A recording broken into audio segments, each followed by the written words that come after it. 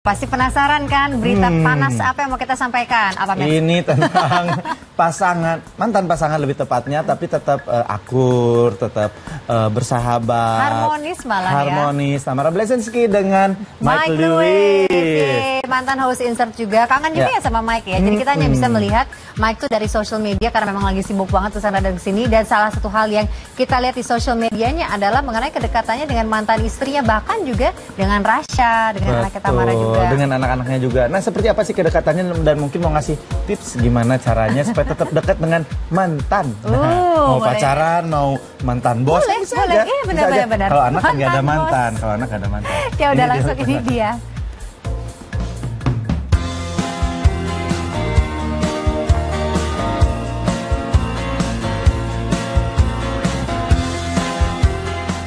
Tak selamanya perceraian selalu membuat seseorang benar-benar berpisah dengan mantan pasangan. Hal ini dibuktikan oleh aktor Mike Lewis. Pasalnya sejak resmi bercerai pada tahun 2012 silam, hingga kini Mike tetap menjaga hubungan baiknya dengan Tamara Blazinski yang tak lain merupakan mantan istrinya.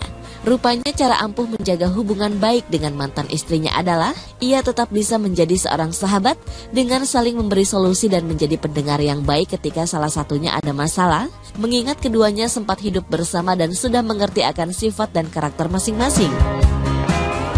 Tak jarang Mike kerap menghabiskan waktu bersama Tamara, salah satunya saat keluarga besar Tamara menggelar acara barbecue. Hal ini pun terlihat di postingan Tamara yang memperlihatkan saat Mike masih begitu akrab dengan keluarga besarnya.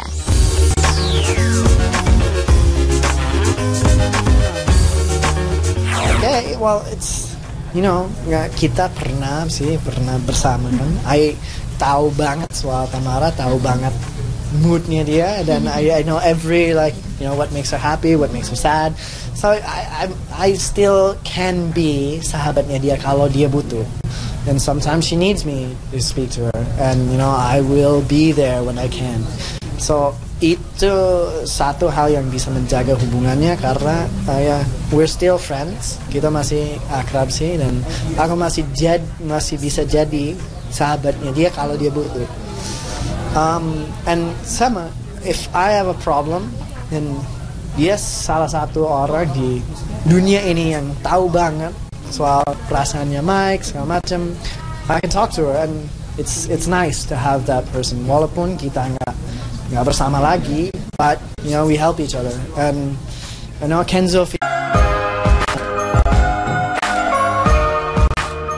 Menjaga hubungan baik dengan mantan istri tentu bukan hal yang mudah dilakukan semua mantan pasangan suami istri, namun ini mampu dilakukan Mike dan Tamara. Selain bisa menjadi sahabat, kekompakan mereka juga dilakukan demi buah hati tercintanya Kenzo. Pria kelahiran Tokyo, Jepang ini juga mengaku kunci keharmonisan dalam menjalin hubungan dengan mantan istrinya adalah rasa saling mengalah dan menurunkan egonya masing-masing. Ya, dan nggak mungkin nggak ada konflik juga. Pasti ada. Kita akan nggak nggak setuju dengan satu hal tentang Kenzo. Pasti bikin konflik tapi kita harus ikhlas buat ngobrol buat buat ya berantem sedikit tapi at least kasih solusi. You know um, semuanya konflik bisa dilewati tapi harus ikhlas untuk uh, meet in the middle. You have to give a little bit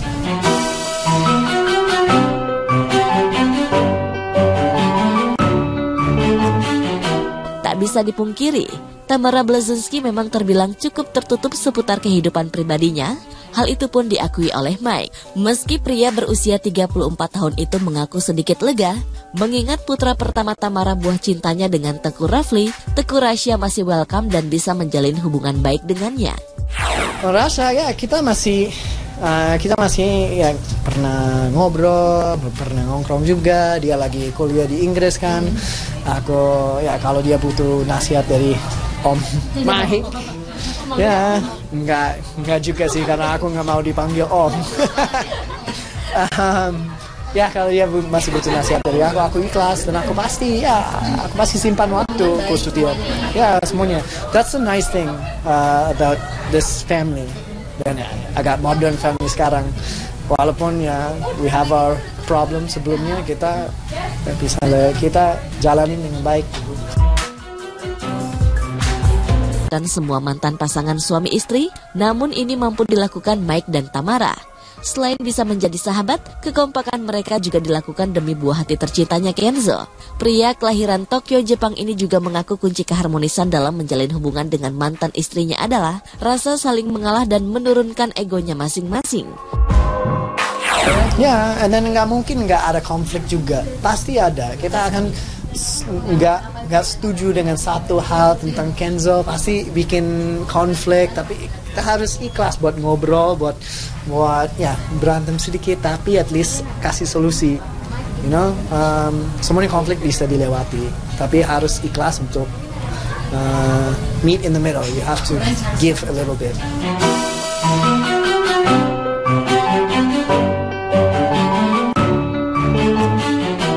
bisa dipungkiri, Tamara Blazinski memang terbilang cukup tertutup seputar kehidupan pribadinya. Hal itu pun diakui oleh Mike. Meski pria berusia 34 tahun itu mengaku sedikit lega, mengingat putra pertama Tamara buah cintanya dengan Teku Rafli, Teku Rasya masih welcome dan bisa menjalin hubungan baik dengannya. Rasa ya kita masih uh, kita masih ya pernah ngobrol, pernah nongkrong juga. Dia lagi kuliah di Inggris kan. Aku ya kalau dia butuh nasihat dari Om Mahik, ya nggak nggak juga sih karena aku nggak mau dipanggil Om. um, ya kalau dia masih butuh nasihat dari aku aku ikhlas dan aku pasti ya aku pasti simpan waktu khusus dia. Ya semuanya. That's a nice thing uh, about this family. Dan ya, agak modern family sekarang. Walaupun ya we have our problem sebelumnya kita bisa kita jalanin dengan baik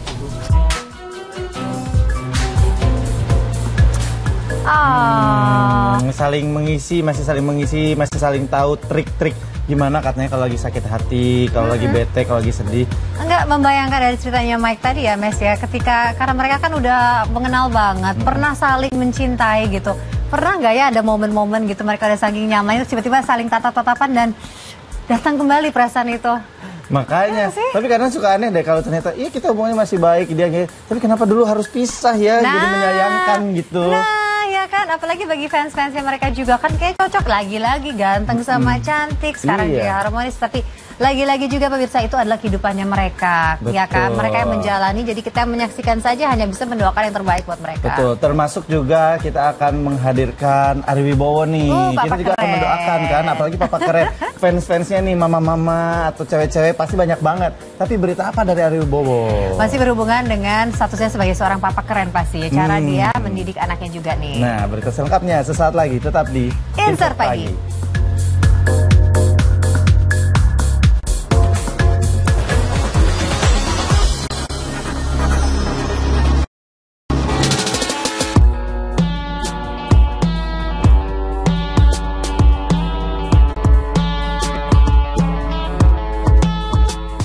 Menjadi ayah bagi anak-anaknya yang masih mengalami fase tumbuh kembang, Ari Wibowo rupanya paham betul apa yang harus ia lakukan kepada buah hati tercintanya.